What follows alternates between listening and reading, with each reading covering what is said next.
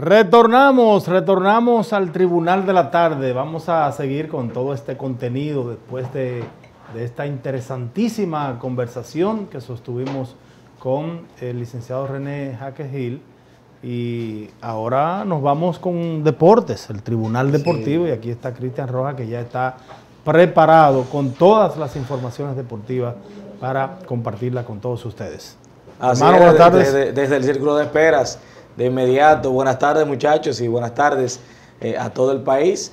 Eh, quiero iniciar con una actividad que me llamó mucho la atención y es que el Comité para el Desarrollo del Capotillo eh, inauguró un torneo ahora este fin de semana llamado la Copa El Río, mm. dedicado a Domingo Contreras, quien es el director de programas especiales del gobierno. Y entonces en este, en este torneo, ahí vemos las imágenes eh, donde también llevó la antorcha, se hizo un recorrido por la ribera del río eh, Osama y aquí se jugará baloncesto, eh, sub 15 femenino como masculino, también sub 17 y voleibol. Estos son los tipos de eventos donde se puede entonces ubicar ese talento que está todavía en bruto y pulirlo. Por eso son tan importantes este tipo de eventos. se cuenta con la, con la cantidad de 384 jóvenes que estarán ahí disputando eh, y qué bien que se, presten los políticos para este tipo de eventos, que apoyen de manera eh, total este tipo de eventos, porque tiene un impacto social eh, muy grande. Así que felicitamos desde aquí a Domingo Contreras, también a los muchachos de allá del Capotillo, por organizar este torneo que estará contando con la presencia del Capotillo, de la Sursa, de Gualey, Guachupita, eh, Simón Bolívar, estarán todos esos barrios que convergen ahí. Eso es, eso es lo que hace falta en esos barrios. Exactamente. Menos dembow y más deportes. Aunque todo Menos dembow y más deportes. Así mismo. Es así. Aunque ya, imagínate, está difícil. Y, domingo, y domingo, menos domingo, va como, domingo va como Luis Elín Santos. Bueno, sí. A siete pico. bueno, óyeme, eh, yo sigo el béisbol, como que últimamente también me he rezagado un poco, pero me dediqué este fin de semana a dar seguimiento a mi Yankee, cogí pique, no sé qué pasó.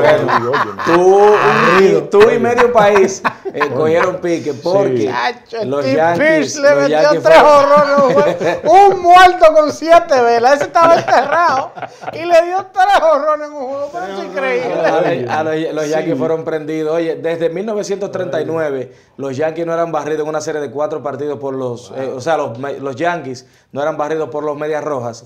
Eh, por lo menos en un mínimo de que la temporada fuera ya de 30 partidos en adelante, cuando se enfrentaban Yankees y Boston, no ocurría esto desde 1939. Hay que decir que los Medias Rojas se alejan a nueve y medio de distancia de los Yankees prácticamente con lo que queda de temporada, o, matemáticamente todavía hay muchísimo chance. Ahora, cuando los equipos están así, a esta altura de juego, es muy difícil. Y no está fuerte eso de, de Elvis, de que un muerto con siete veces.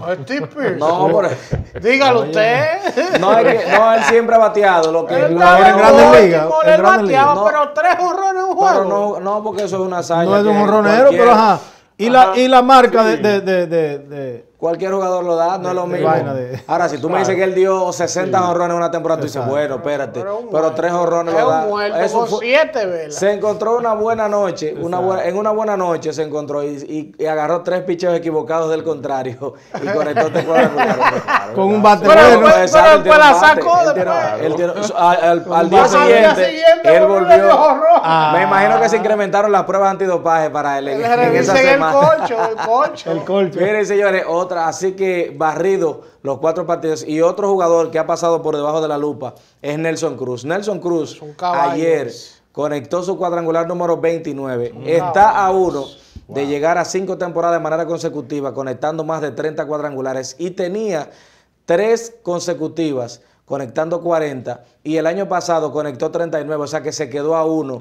El jugador más eh, digamos, consistente, consistente pero, dominicana pero con el bate. subestimado también. Y subestimado porque también. Nelson Cruz fue agente libre, lo pudieron firmar los Yankees, Boston, y nadie se interesó. Mucho- muchos siendo equipos. uno de los honroneros más consistentes. Bueno, en, su el momento de la firma era el mejor jorronero que había en el negocio disponible. Lo que pasa es que la edad, él tenía 34 años de edad cuando firmó su contrato y ya... Pero el caballo. Mire, que también No, atravesó, se ha ido superando porque atravesó la misma situación mira, de los peloteros. y- de- Sí, y él se oye, sorprendido. y En el caso de él fue Pero- 50 porque no eran 50. 80 cuando eso. Y jugando en. Seattle, que es un estadio bueno, para Adrián Beltré. Adrián Beltré se le partió el pecho ahí. Ya lo sabes. No, pues, Adrián Beltré firmó un contratazo con Seattle luego de conectar 48 con los Dodgers y allá entonces fue dio 17 Tuvo que jorrones. salir corriendo de ese Pero Nelson Cruz demostró que ahí no, no- cuando le da un hombre a la pelota en ese estadio, eh, se va porque se va. Mire, Otro ¿qué es lo que le pasa a, Donald Trump con LeBron? Yo No, estoy quillado con caco muñeca. Y José Ramírez.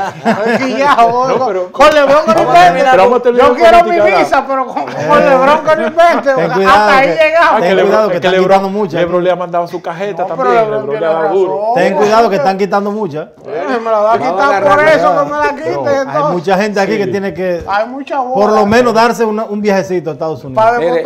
Sí, porque yo no creo en que, yo no creo en presentar el ticket pasaporte. Ey, ey, ey. Ay, Ey, cámbiame vale, esa página. Antes de hacer... Sí, así.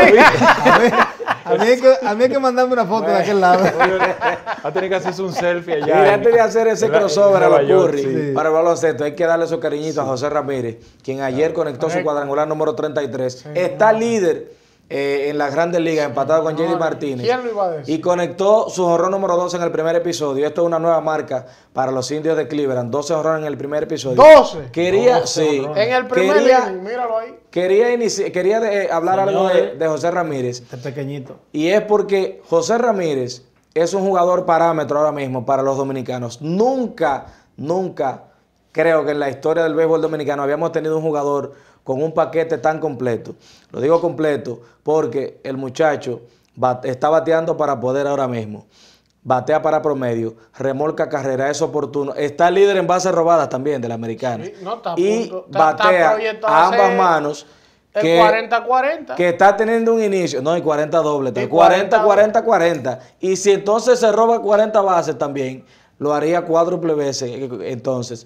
Y este muchacho está a nivel de Mickey Mantle, está a nivel de Eddie Murray, como ambidiestros que son oportunos, que batean para promedio y que también batean para poder. Así que este muchacho es el mejor pelotero desde el año pasado para acá para la República Dominicana. un tolete de qué que- 5 pies y tú- 8 tú ves estaturas. por qué no se puede menospreciar a la gente. Ese muchacho jugó aquí con los toros hace como Sí, tres años. Cuatro años hace. Cuatro años. Yo me acuerdo y la gente, mira, lo ninguneaban ni de los toros. Nadie, Nadie se- nadie no lo entrevistaban casi. Mira ahora. Ustedes. Debe que era con los paroncito. No, yo no, yo siempre fui un ahora que no, es fácil determinar porque también eh, eh, se ha dado el caso de muchos equipos que se han cansado de esperar que su prospecto número uno queme la liga No, y no termina, no ¿verdad? fue No, pero ese ha habido mucho fracaso. Hollandsworth de, de, de los Dodgers en la década de los 90.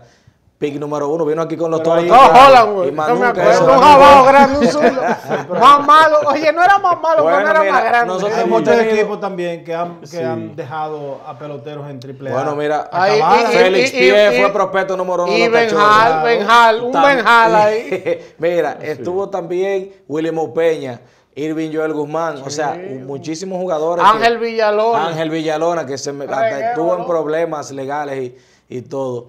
Mira, el caso de LeBron, que Donald Trump, y entonces una realidad lo que dice LeBron, este hombre está usando el deporte Para dividir. para dividir, y entonces escribió en su cuenta de Twitter, o sea, lo insultó, le dijo bruto a LeBron Le James, dijo bruto. le dijo bruto. Eso sí, que le cayó la NB entera. Que y todo el mundo apoyando a LeBron. bueno, el propio Carl Anthony Towns, el jugador dominicano, Sí, le se todo. expresó a través de su cuenta de Y- Twitter y y, lo muchos insultó a jugadores. Donald Trump. Entonces ya esto ya es real lo que dice LeBron porque él está creando un frente en contra de él. No, y sobre Él porque todo- lo- los baloncetistas van a apoyar a LeBron No, y sobre todo la influencia que estos tipos generan en el mundo completo. Pero claro que sí. En millones de gente que está él. Mire cómo estoy yo aquí. Ahora hay que tomar en cuenta también que Donald Trump hace eso en una coyuntura que él está en su mejor momento blindado, sus críticas blindado.